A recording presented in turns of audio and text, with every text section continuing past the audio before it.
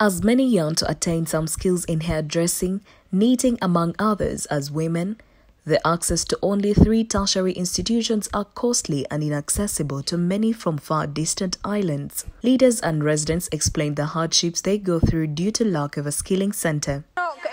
Ku abaana abawala abato boola baffe bayiga okukozesa ebiragalalagala lwa nsonga ya butasoma tebalina Many young girls have fallen gyabula. victim to immorality and drug use due to lack of education, basically in tertiary skills. Our leaders have also neglected tertiary education services, and this has greatly affected us, the youth. ebyo ebintu bagenda wa mu maaso ki ekiddako Whereas they hail from the islands, they are born here.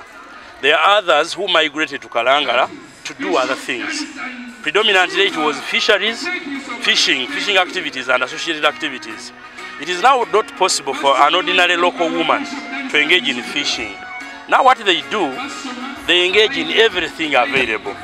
So, what the Honourable Member of Parliament, the woman member, the Honourable Nachimuli, and I think is that we can skill not only the girls, the boys, but even the grown up people who may have skills.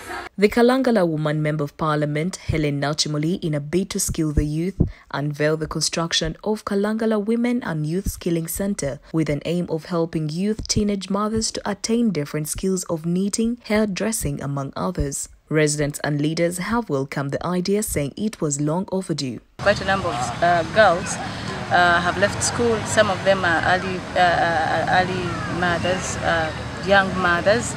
They're into early, uh, early marriages, and some of them are suffering out there. Most of their parents have uh, been left jobless by the army.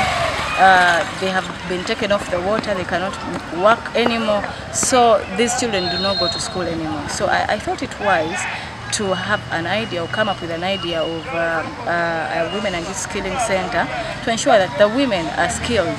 Somebody can have something to do.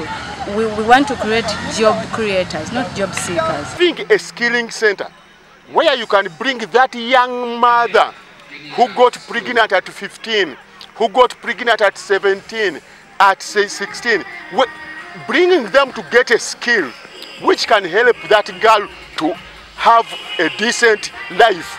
That is very important. The skilling center is estimated to cost 500 million shillings, where Buganda, through Kweba, have provided the needed land for it. Upon completion, this will be the first free skilling institution in Kalangala and the district through. Leaders have pledged total support.